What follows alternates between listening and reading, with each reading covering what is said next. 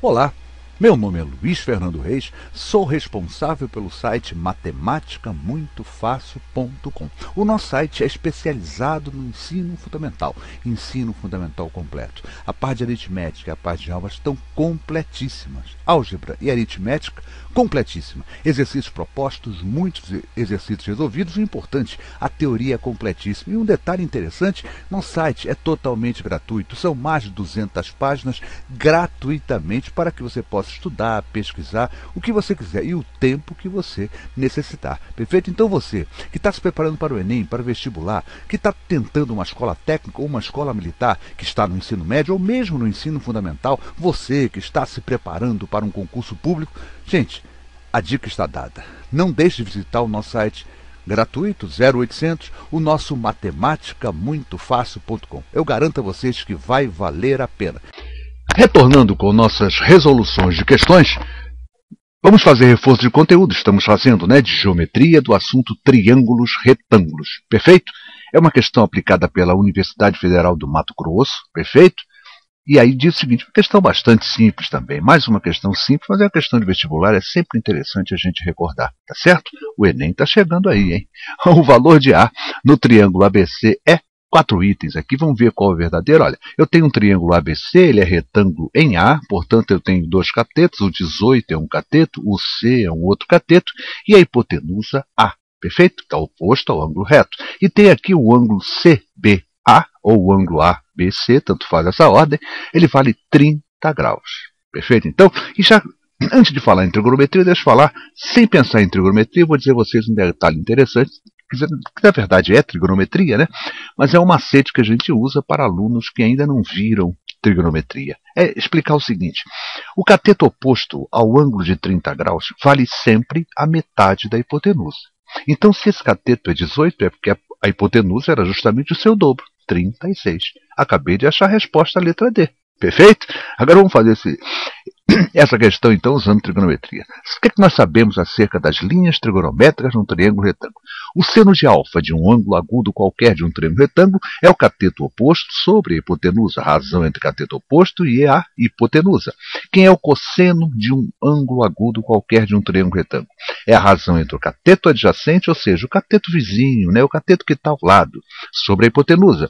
E quem é finalmente a tangente de um ângulo agudo qualquer de um triângulo retângulo é a razão entre o cateto oposto que está do outro lado, sobre o cateto adjacente, ou seja, o que está exatamente ao lado.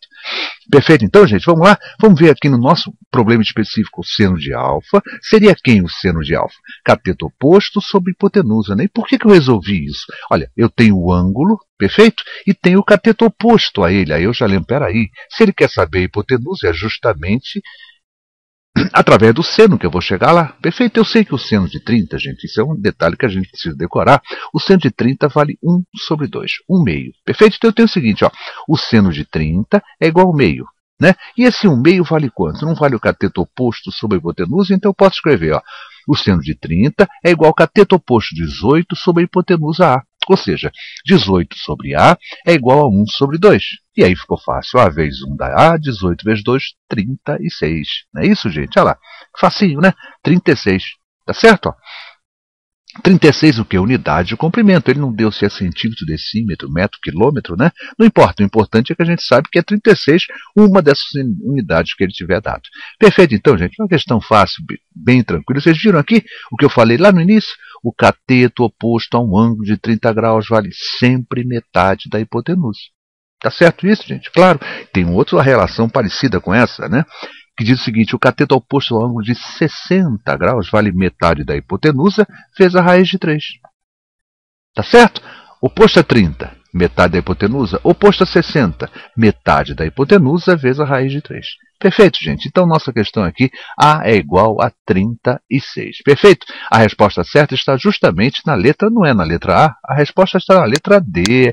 É bom emendar isso aqui para não ficar o erro, né, gente? É letra D, gente. Que letra A? A letra A veio do outro problema, acabou ficando aí, a gente não emendou. Perfeito, então, gente, é isso aí. Espero que os amigos tenham entendido. Realmente é uma questão bastante simples, mas é bom que a gente vai dando essa raspagem, né? essa revisão geral em trigonometria no triângulo retângulo. Perfeito, então, gente. Obrigado. Até a nossa próxima videoaula. Essa videoaula foi ministrada pelo professor Luiz Fernando Reis, responsável pelo site matematicamuitofácil.com. O nosso site é especializado no ensino fundamental. São mais de 200 páginas especializadas no ensino fundamental aritmética, álgebra, geometria e análise. Estamos completando os conteúdos de geometria e análise e aos poucos, e acredito que até o fim do ano, nós tenhamos esse conteúdo completinho. O importante, o nosso site é totalmente gratuito, você fica livre para estudar o tempo que achar necessário. Gostou da videoaula? Não deixa de se inscrever em nosso canal Matemática, muito fácil. E para isso você vai clicar nesse link que aparece aqui embaixo, perfeito? Esse link vai te levar a uma página. E nessa página, quando você clica em quero me inscrever, o YouTube lhe pergunta se você quer ser notificado, ou seja, ele pergunta se você quer ser avisado, quer ser comunicado. E assim, sempre que eu postar uma nova videoaula, o portal YouTube por e-mail comunicará a cada um dos senhores. Então marca esse quadradinho, queira ser notificado das atualizações de nossas videoaulas. Gente, é isso aí. Obrigado pelo carinho, obrigado pela atenção e até a nossa próxima videoaula.